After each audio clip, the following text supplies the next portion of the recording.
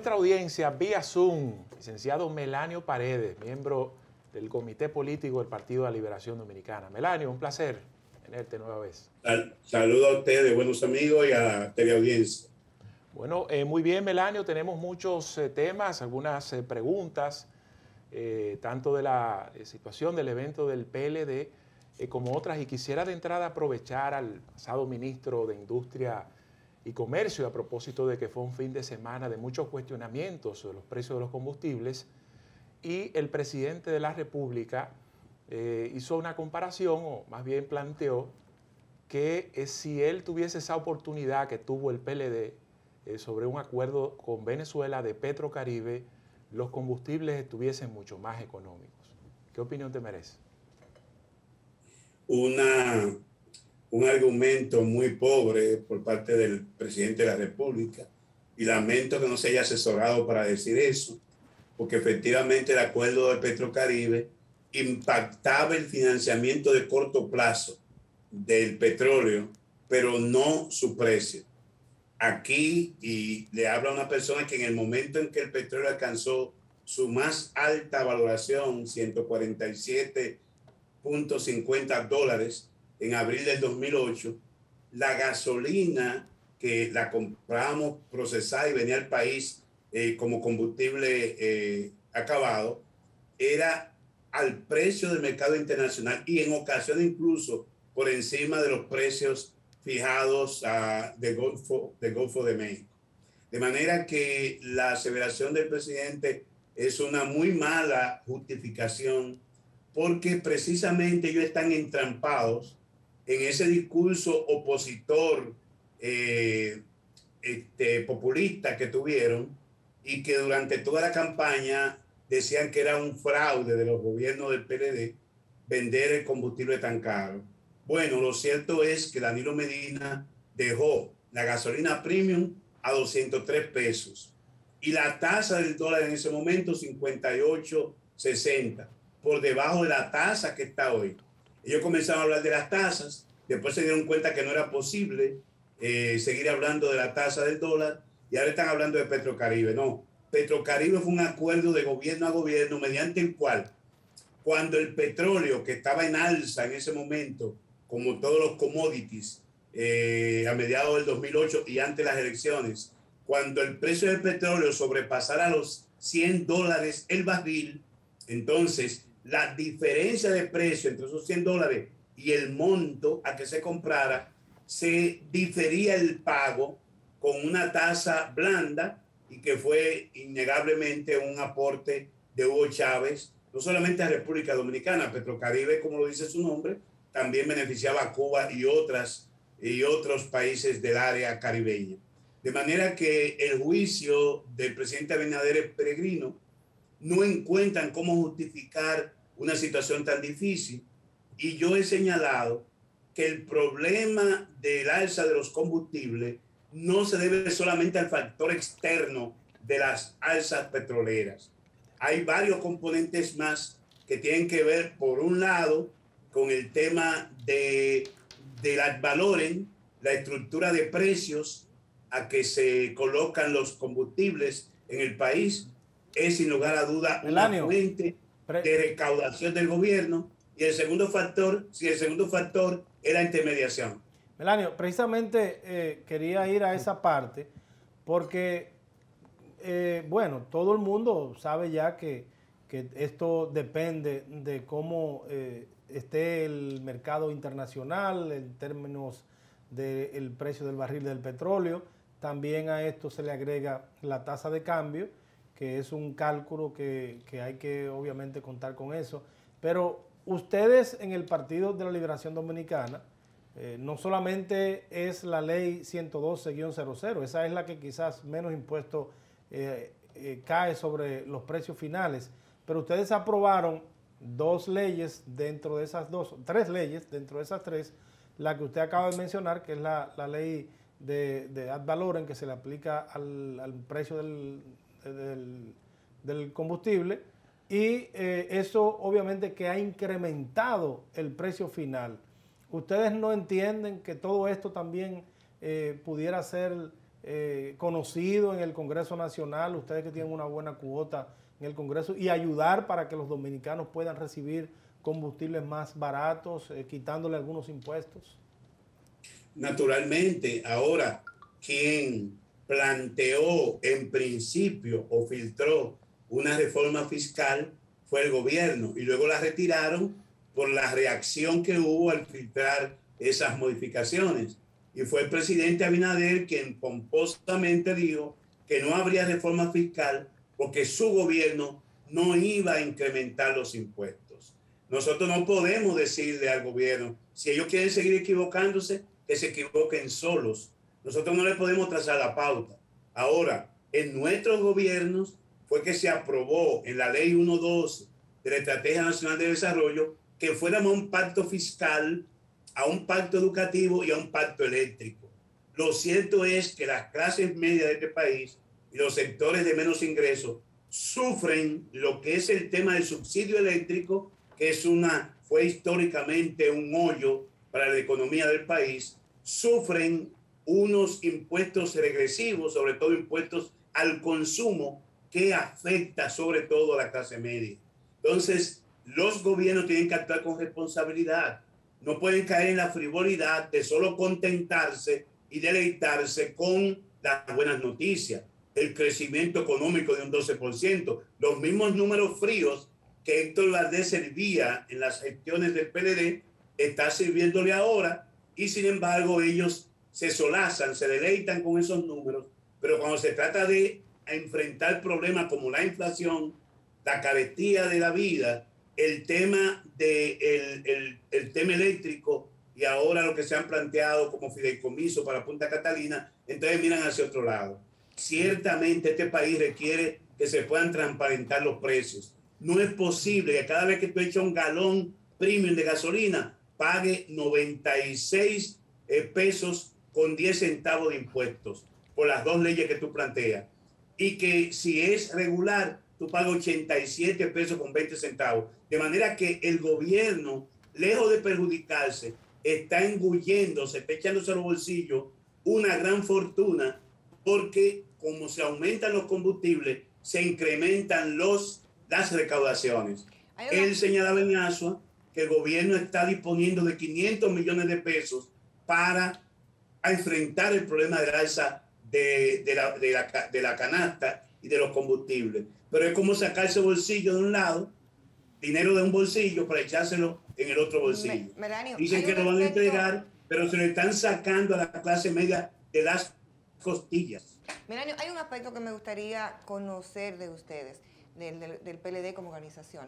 ¿Fue algo estratégico, fue coincidencia que un anuncio tan importante como fue el lanzamiento de los aspirantes presidenciales fuera justo un día antes del inicio del caso Antipulpo? ¿Estrategia, coincidencia o sencillamente nadie pautó esta o nadie avisoró esta situación? No, Charlo, querida, amigos que nos ven y nos escuchan, el PLD desde el 11 de octubre del pasado año ha estado cumpliendo con una agenda, una agenda propia, independientemente de la sede, independientemente de toda la campaña que se ha hecho para desacreditar a la organización, independientemente de la persecución a funcionarios, con, con, con razones o no, pero el PLD ha mantenido en pretérito su agenda. Esa agenda implicó la celebración de su Congreso, el cambio y reforma de sus estatutos, y pasamos entonces al proceso de renovación de la dirigencia nacional que concluyó en marzo y en esta oportunidad estamos trabajando en la reorganización de las estructuras eh, de base e intermedio. Que según Melanio, sí, sí, que según, eh, eh, perdón Melanio, por razones de tiempo, que según el magistrado Eddie Olivares, esa agenda que está agotando el PLD viola la ley electoral y hace un llamado a la Junta porque entiende que se trata de una campaña de destiempo.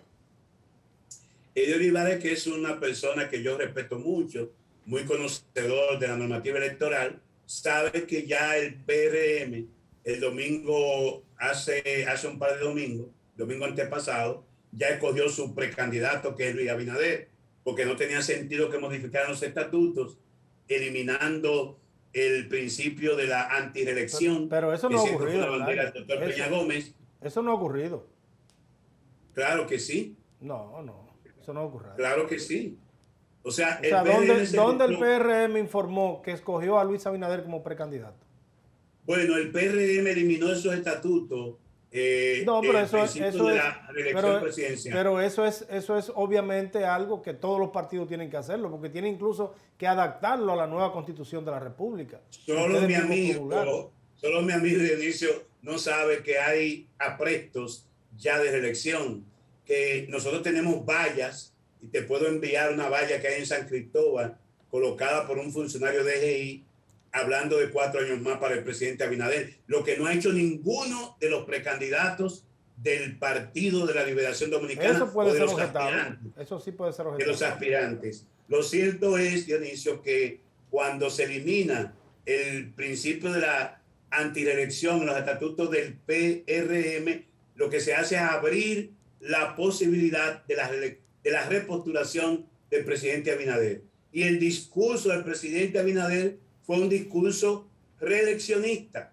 Dime tú qué hace en una asamblea partidaria hablándole a, la, a, la, a, la, composición de esa asamblea un hombre que no es ni presidente ni secretario general del partido. Habló eventualmente quien será su candidato presidencial en el 2024. Profesor. Por otro lado, Julio, también la fuerza del pueblo, todo el mundo sabe que tiene un, un, candidato ya definido para el 24, que lo es el doctor Leonel Fernández. Entonces, el Partido de la Liberación Dominicana, que ha retomado las calles y los campos, que hoy somos la única organización política con estructuras reales en todo el territorio nacional y en el exterior, no tiene candidato a dos años de la elección. Profesor, nosotros hemos decidido, profesor mire, eh, por el tiempo, por el tiempo, no, no puedo eh, terminar sin que, sin que le hagamos la siguiente pregunta. Hoy precisamente se inició eh, la audiencia preliminar que podría llevar a juicio de fondo a eh, uno de los principales acusados del caso Antipulpo, que es hermano del, del expresidente de la República, Danilo Medina, y hoy presidente del PLD. ¿Esto no puede afectar más la imagen de su organización política? El PLD tomó la decisión de escoger su candidato o candidata, en este caso yo estoy apostando a Margarita Cedeño, el 16 de octubre y eso es indefectible. Estamos, conforme dice el artículo 16 de la Constitución, asumiendo una posición que es soberana de los partidos. La, pregunta, la pregunta, profesor, que fue otra. En el, en el momento en que nosotros tengamos nuestro candidato, todo el debate del país se orientará a la materia electoral y a los problemas que afectan el bolsillo de los dominicanos. Cada proceso y cada agenda seguirá su curso. La agenda de la justicia entrecomillada independiente seguirá su curso y el PLD seguirá su curso con su propia agenda. El que tenga que, que, responder ante imputaciones justas o injustas, que lo haga. El PLD no interfiere en la justicia, contrario a lo que sí hace el gobierno, que cada vez que se ven aprieto saca el expediente de las imputaciones y los casos de corrupción. Y, comparte lo planteado por eh, un alto dirigente, suyo, Guarocuya Félix, en la que dice que el PLD debe pedir disculpas al pueblo dominicano por los errores cometidos. Es el juicio de Guarocuya. Yo siempre he dicho que en las gestiones de gobierno del PLD tuvo sus luces y sus sombras, pero que las luces prevalecen sobre las sombras. Y hemos hecho un ejercicio porque ya internamente hicimos la evaluación de la necesidad de renovar y relanzar al Partido de la Liberación Dominicana a los fines de que retorne al poder, pueda corregir los errores y reafirmar el legado material, humano y social que le ha ofrecido al pueblo dominicano, que es mucho lo que hay que ver. Tú no conoces una sola obra material de este gobierno que ya va para dos años. Profesor. Y las obras materiales del PLD están por doquier, profesor, al de cada esquina. Profesor, pero mire, yo les recuerdo que no solamente Guarocuya, el propio Danilo Medina, en un audio que nosotros pusimos aquí en este mismo Tribunal de la Tarde, hace unos meses, eh, decía en una actividad interna de ustedes que los PLDistas se emborracharon de poder, que se malacostumbraron y que no querían hacer nada si no era con la logística y que familias completas estaban recibiendo cheques del Estado y no querían hacer el trabajo del gobierno. Yo no creo que eso sea una práctica eh, santa. Y en esa misma línea. De la cual no se pueda uno arrepentir. Tomando como amigo la pregunta de Dionisio, eh, profesor, ¿ha entendido el PLD las razones que lo llevaron a perder el poder? Sí, yo dije que hemos hecho nuestra evaluación y así como se cometieron errores, también hay mucho más acierto que esos errores. Y debo decirle al amigo Dionisio, como a todos ustedes, que las posiciones sobre el tema de la corrupción en la política, yo la he tratado con ustedes en muchos programas, no de ahora, de hace años. o sea, yo soy de lo que entiende que la ética en el ejercicio público tiene que ser fundamental porque fue la bandera de nuestro fundador, el profesor Juan Bosch.